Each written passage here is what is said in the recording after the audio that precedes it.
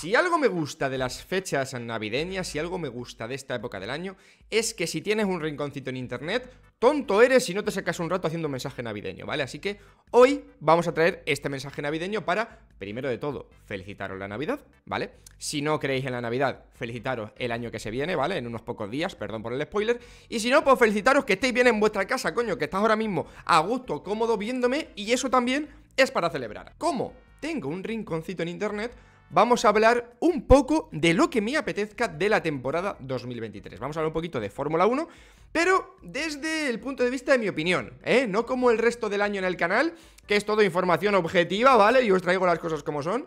Hoy me apetece hablar y reflexionar un poquito sobre todo lo que hemos visto esta temporada, esta temporada 2023, que pasará la historia de la Fórmula 1 no por divertida, no ha sido especialmente divertida, desde luego, pero sí por histórica, porque y aunque lo hemos omitido casi todo el año en el canal en los resúmenes, y algunos os he notado que os ha molestado un poquillo, eh, es una temporada histórica, ¿no? Lo que ha hecho Max Verstappen es una barbaridad. Pero antes estoy pensando que, como no parece esto un mensaje navideño, voy a hacer esto y voy a meter unos cuantos PNGs de Navidad. Hablaba de, mm, de Verstappen, es el nombre del año, ¿vale? Y hay que hablar de, de esto que ha pasado. Porque Creo que la historia, en los años, en 2033, por ejemplo, estaremos reflexionando con nuestros hijos, nuestros nietos, o qué sé yo, con tu primo Luis, ¿vale? Y hablaremos de la temporada 2023 como una temporada histórica, en tanto los récords de Max Verstappen, que creo, creo y espero, creo, espero y deseo que no se vayan a volver a repetir, los recordaremos con más cariño y con más nostalgia. Valoraremos mucho esta temporada como a día de hoy se valora la época de la McLaren de los 90, se valora el inicio de los 2000 de Ferrari, los mundiales de Michael Schumacher, las temporadas de Michael Schumacher dominando muchísimo.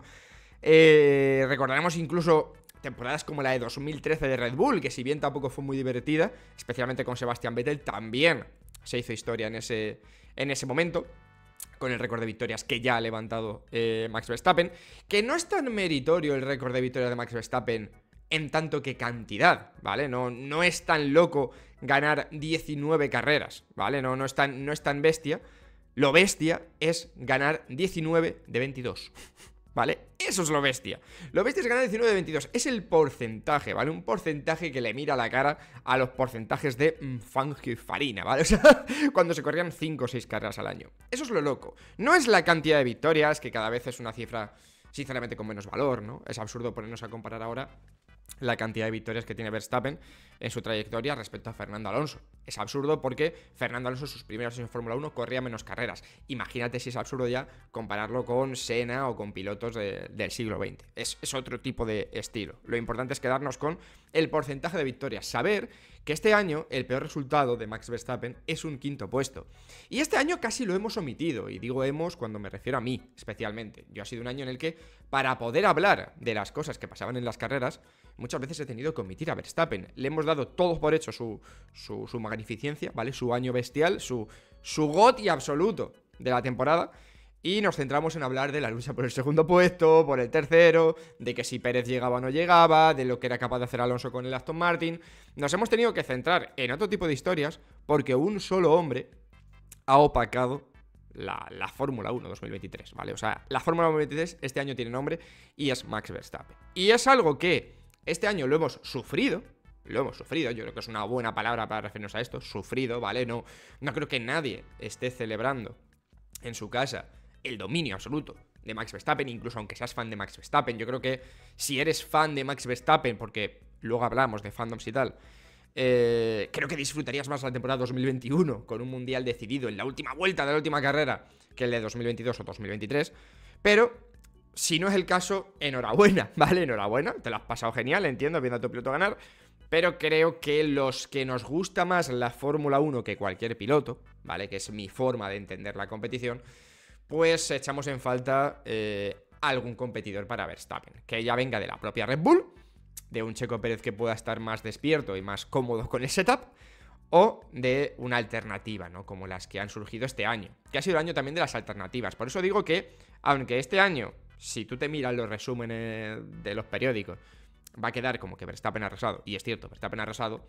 Hay brotes verdes para crear un 2024 ilusionante. Está nunca mejor dicho, el brote verde de Aston Martin, la erupción a inicio de temporada, que ya casi hemos olvidado porque ha ido de más a menos con algún punto de brillantez final como lo de Brasil, o lo de McLaren. ¿Vale? Esta McLaren que resucitó a mitad de temporada, un poquito antes, a partir del Gran Premio de Austria, y que se volvió una alternativa a ganar carreras, ¿vale? Hemos visto un coche eh, a ganar, estaba siempre Verstappen, ¿no? Pero como esa segunda opción, quitándole ese, premio, digamos, ese honor a Aston Martin, han estado ahí, han estado cerca. Digamos que es la mejor McLaren desde la McLaren Mercedes con la que muchos crecimos, ¿no? Eh, esta McLaren es verdad que Red Bull ha estado muy en su liga y cuesta compararse, pero durante la segunda mitad de temporada, el equipo que más veces ha parecido la alternativa a poder ganar carreras eh, ha sido McLaren, ¿no? Al final, la alternativa a ganar carreras solamente fue una. Fue la de siempre, durante estos años, la alternativa, ¿no? Nunca llegan a consolidarse, pero Ferrari siempre está ahí, siempre está cerca. Y en un año en el que Leclerc no ha estado del todo mal, aunque ha tenido sus fallos tontos y también mucha mala suerte, eh, el que se la ha llevado es Carlos Sainz, en un momento muy fuerte de la temporada que tuvo. Uh, empalmó pole en Monza, podio en Monza y victoria en Singapur con pole también que fue el único punto de debilidad de Verstappen y de Red Bull, ¿no? Digamos más bien de Verstappen y Red Bull en binomio, porque ha habido momentos relativamente débiles de Red Bull que Verstappen ha salvado, ha habido momentos eh, relativamente débiles de, Verstappen que Red Bull seguramente le ha carrileado esta temporada, no se me ocurre deciros cuáles, pero seguro que en algún momento una de estas carreras en las que Red Bull estaba tan superior al resto, pues si Verstappen no estaba tan brillante no pasaba nada, y sobre todo ha habido muchos momentos de bajón de Checo Pérez, que es el que más le ha costado seguir al ritmo. Pero la única, el único fin de semana donde confluyeron bajón de Verstappen. Ni siquiera bajón de Verstappen, ¿qué cojones? Bajón de Red Bull. Y un Verstappen estelar, porque quedar quinto con, el panorama que tenía Red Bull en esa carrera también estuvo bien. Eh, fue Singapur. Y ahí estamos hablando de Aston Martin, estamos hablando de McLaren, incluso Mercedes, ¿no? Con la revolución del concepto de pontones a mitad temporada, de incluirlos. Al final, quien se llevó la victoria fue Carlos Sainz en un fin de semana espectacular. Un fin de semana de los que demuestran por qué está en Ferrari, demuestran por qué eh, nunca Carlos Sainz, seguramente vaya a ser Fernando Alonso, pero es capaz de competir a un talento brutal como es Charles Leclerc. A veces infravaloramos a Charles Leclerc. Charles Leclerc es muy bueno. Charles Leclerc es un piloto excelente. No lo suficientemente regular, ¿vale? Creo que es lo que más se le puede criticar a Leclerc. La regularidad, que le cuesta mantenerla, y la capacidad de lectura de carreras, donde Carlos Sainz sí que le supera con holgura, ¿vale? Pero en el resto de cosas, probablemente Leclerc es mejor. Y ese resto de cosas te pueden acercar más a un campeonato del mundo que, los, eh, que las aptitudes de, Carlos Sainz, ¿no? Que finalmente, ya digo, fue el único piloto no Red Bull que ha sido capaz de ganar una carrera y único piloto que, si bien no tuvimos la 33 a nivel de, de cantidad de victorias de Fernando Alonso, sí tuvimos la 34 española, ¿no? Con la victoria de Carlos Sainz, su segunda victoria en Fórmula 1 la segunda con el equipo con el equipo Ferrari. Por eso, momento feliz, ¿no? Momento de, alegría, momento de, coño, mira, ahí está Carlos Sainz, ¿vale? Finalmente, estas últimas carreras pues no han estado bien y Abu Dhabi fue un desastre y, y Leclerc la adelantó en el Mundial, pero cuando estás compitiendo con una bestia tan grande como Leclerc, no es tan importante quedar por delante, que evidentemente es lo más importante, sino estar cerca, estar en la pelea. Y este año no puedes decir que Leclerc ha pasado por encima de Sainz, puedes decir que Sainz ha pasado por encima de Leclerc, puedes decir que han competido mm, bien, que le está compitiendo. Y cuando un equipo funciona en torno a un piloto más que a otro, porque es evidente que Ferrari funciona así, porque la apuesta de Ferrari es Charles Leclerc y Carlos Sainz es el que tiene que pelear por su renovación año tras año y, ganarse el puesto, digamos, en cada, actuación, pues, pues ha estado muy bien. Y luego en los pocos duelos particulares, como por ejemplo el de Monza, pues estuvo muy bien y estuvo mejor que él, ¿no? Esto es lo de siempre. Creo que Ferrari eh, tiene una bendición con los pilotos que, maneja ahora mismo. Creo que el binomio Leclerc-Sainz es lo mejor de largo a lo que puede aspirar una estructura tan débil eh, a nivel organizativo como Ferrari en este momento. Creo que la máquina tampoco es mala del todo. Creo que lo que falla es el esquema personal. No, no quiero centrarme tampoco en Frederic Basser, no creo que sea su culpa en un año, en menos de un año, eh, lo, que, lo que ha pasado pero algo falla en Ferrari a la hora de creerse que pueden ganar. Les falta... Es un topicazo y no me gusta usarlo porque se usa más en deportes donde, donde esto es más importante, pero le falta mentalidad ganadora, ¿no? Eh, creo que coche, el coche evidentemente ha sido porque Red Bull, ¿vale? Este año no se podía competir, Pero mm, podrían haber conseguido de manera más fácil sus, sus, objetivos esta temporada con un poquito más de. con un poquito más de orden. Porque el binomio Leclerc-Sainz es muy, muy, muy positivo. Pero, hablando de españoles, el español que nos ha enamorado a todos este año, es alguien del que teníamos dudas. Del que teníamos incertidumbre, ¿no? Habíamos visto regresar a Fernando Alonso a la Fórmula 1 y no podíamos dudar de que era bueno. Vaya, o sea, que quién va a dudar de Fernando Alonso a estas alturas de la vida.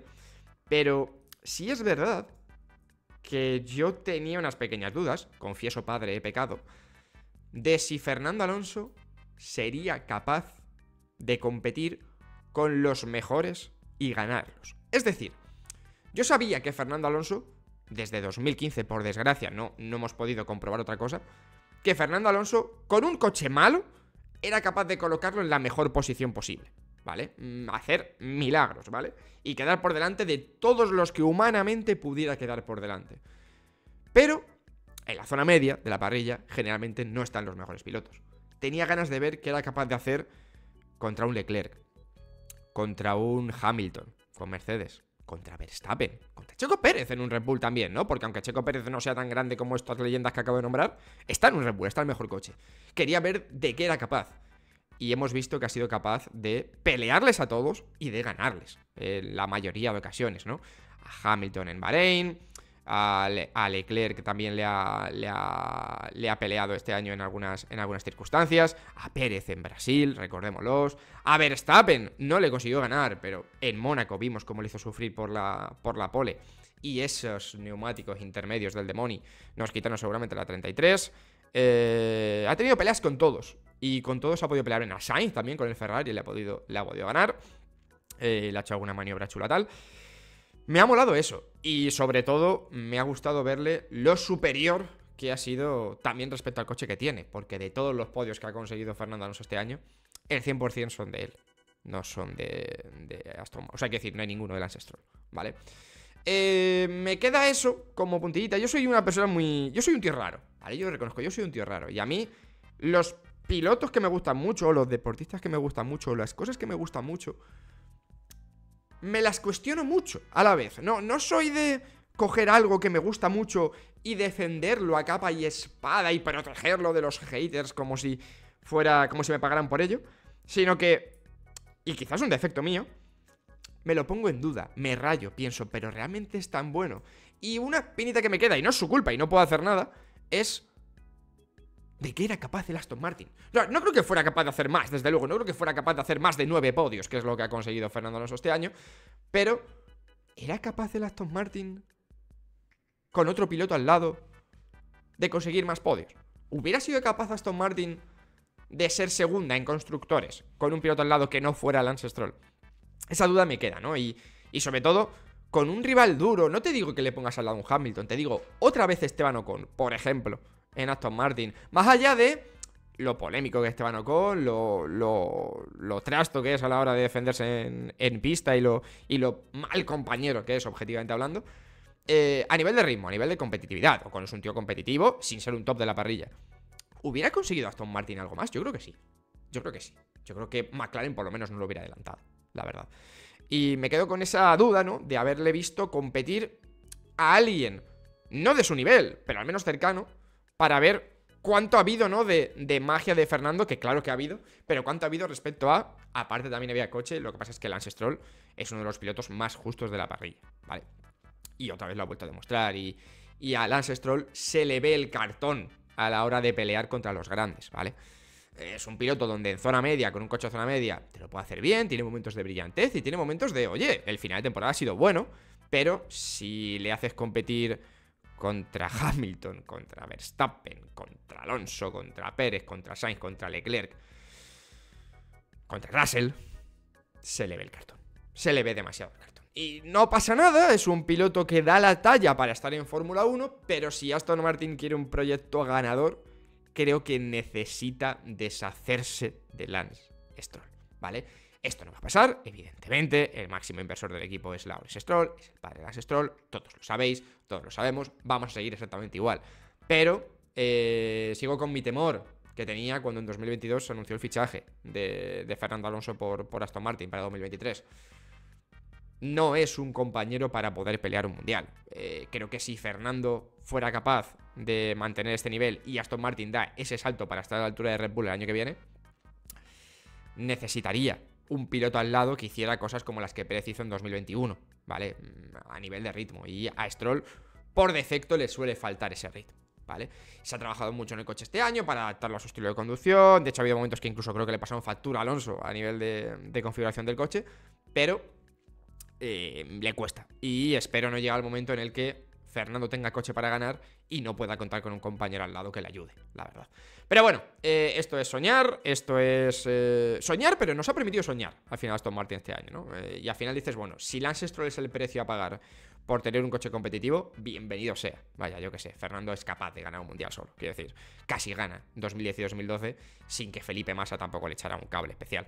pero mm, suele ser importante en la Fórmula 1 hoy en día tener un compañero que pueda, si no ayudarte en una carrera directa, restarle puntos a tu rival, ¿no? Que alguna vez te pueda quedar por delante de tus rivales y le pueda restar un poco por, por ahí. Pero nos ha devuelto la ilusión, Aston Martin, esta es la clave, ¿no? En Alpine ya parecía haber tocado techo, el proyecto de Alpine, de hecho, este año se ha visto que ni siquiera con los avances en fiabilidad de motor han conseguido dar un salto. De hecho, parecen tener un déficit importante a nivel de potencia, cosa que no entiendo, porque yo pensaba que en 2022 lo estaban exprimiendo el motor y por eso fallaba tanto, y resulta que, que no, que fallaba porque sí.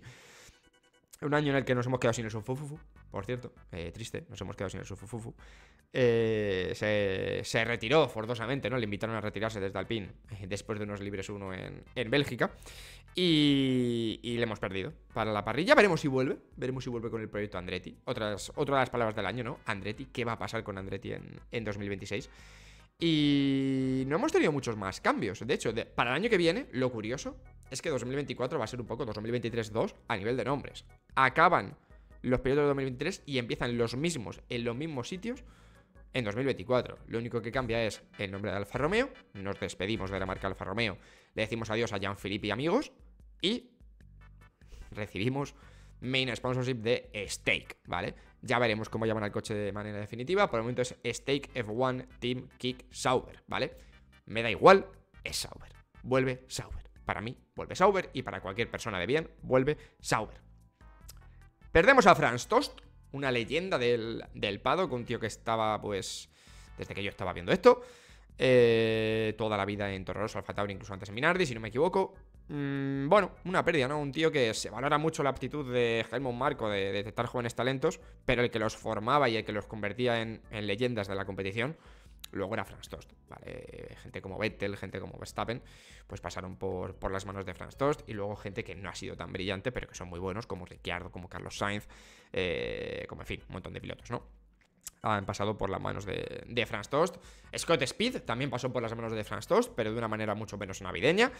Bueno, un señor que, ya se ha jubilado, tenía edad de jubilarse, creo que tenía más, de hecho, creo que tenía casi 70 años, si no me equivoco, Franz Tost. De broma en el bólido ya sabéis que decimos que es más viejo que un bosque.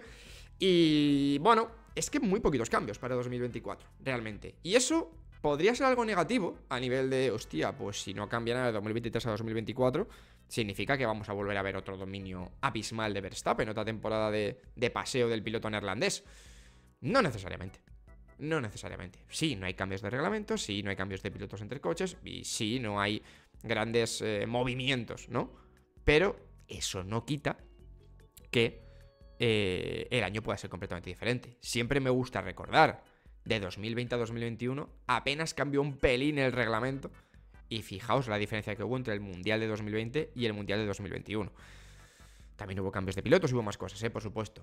No sé, eh, hay esperanzas, tengo esperanzas para, 2000, para 2024 y creo que va a ser un año muy divertido. O no, igual es un mierdón, pero me quiero ilusionar. Estamos en Navidad, ¿no?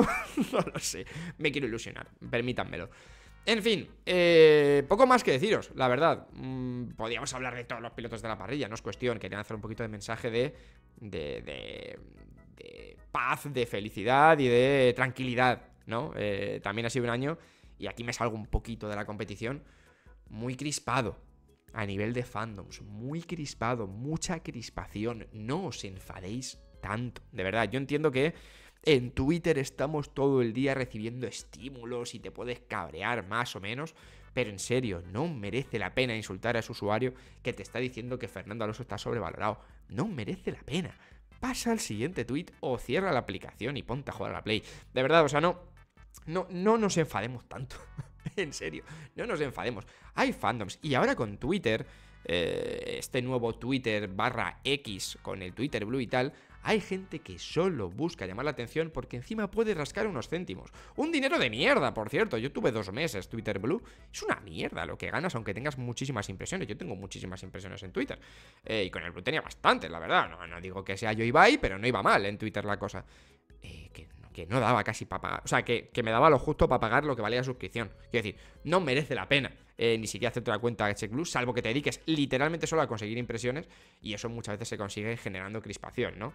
Y mucha gente lo sabe, aprovecha, lanza el anzuelo y la gente pica como idiotas a contestar a cosas obvias, ¿no?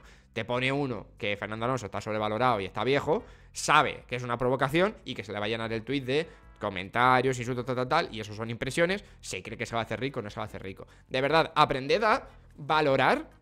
Yo entiendo que a todos nos puede sentar mal una opinión de alguien en redes sociales, ¿vale? Yo soy el primero. Pero aprended a valorar si merece la pena enfadarte por la opinión de esa persona, o de ese usuario, o de ese bot incluso. Es decir, las críticas existen, son lícitas, pero nosotros como personas adultas y racionales debemos saber de quién tienen valor y de quién no, ¿vale? Si Albert Fábrega, otro tío que también en Twitter este año la lía un poco, pero no para tanto, para mí, pero bueno, ya hablamos de eso en su momento.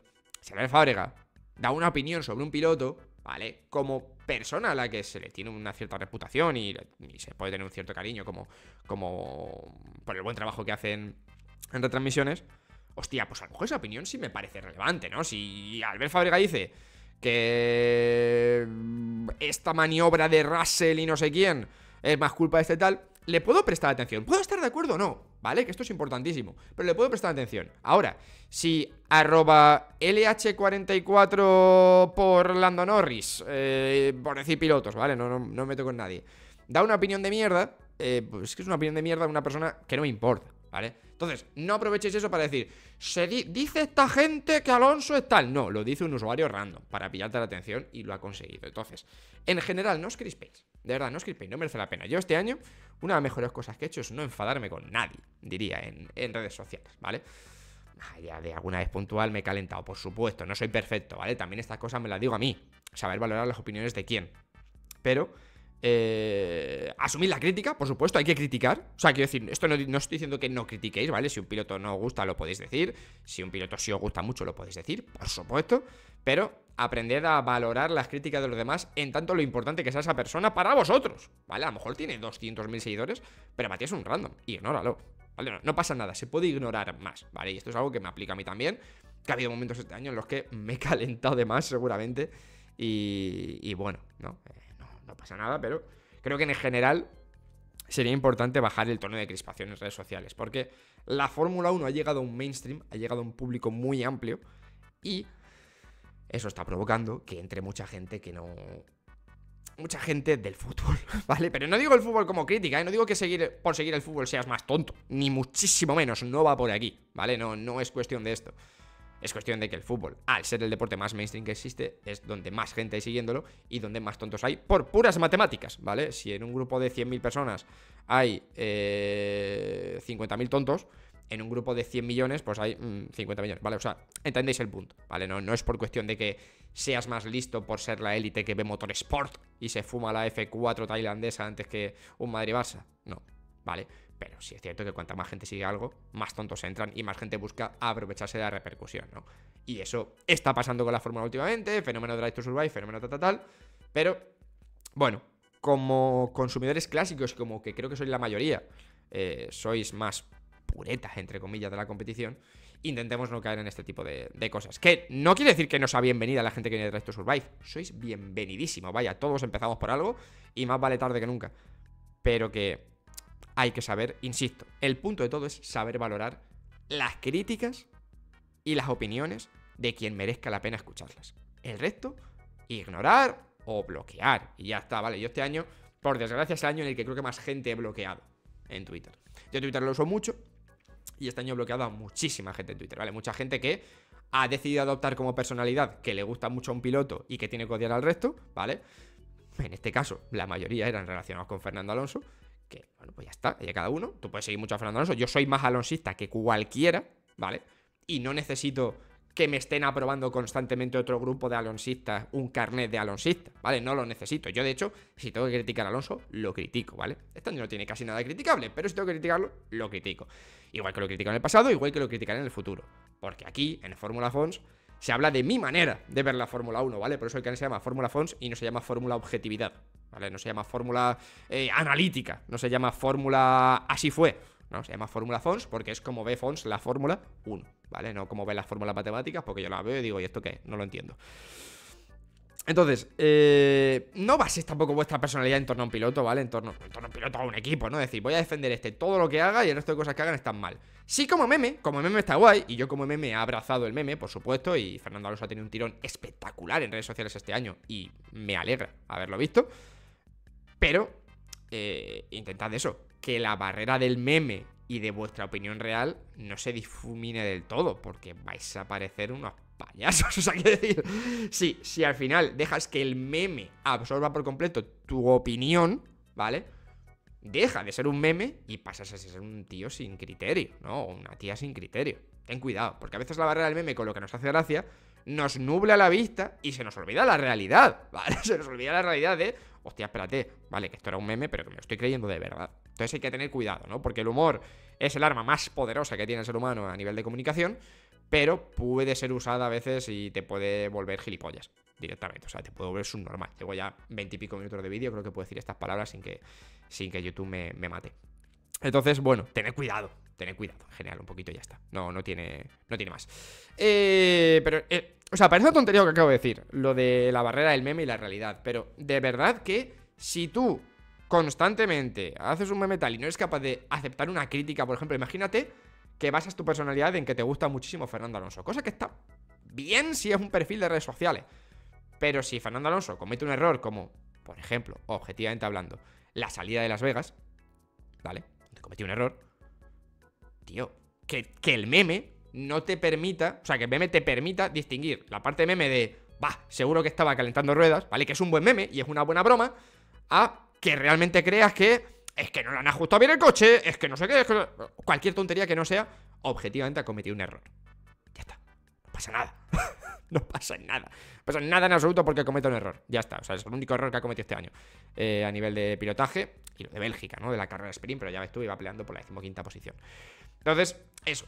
No os dejéis tampoco llevar por el meme porque os convertís en marionetas de una. Eh, de un meme.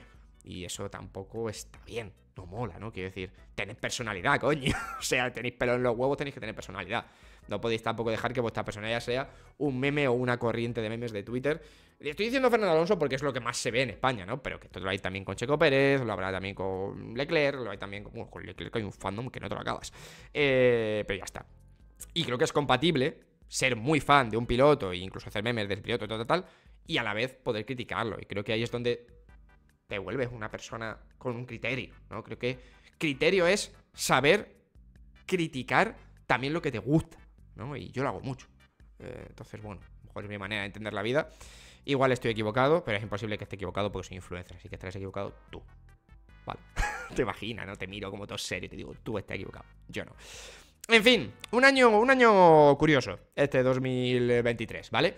A nivel personal, no lo voy a hablar aquí, ¿vale? No lo voy a hablar aquí. Lo hablaremos, si eso, en el canal secundario. Sabéis que tengo el canal de Fons, donde hablo de, videojuegos y resubo clips de, directos de la plataforma morada.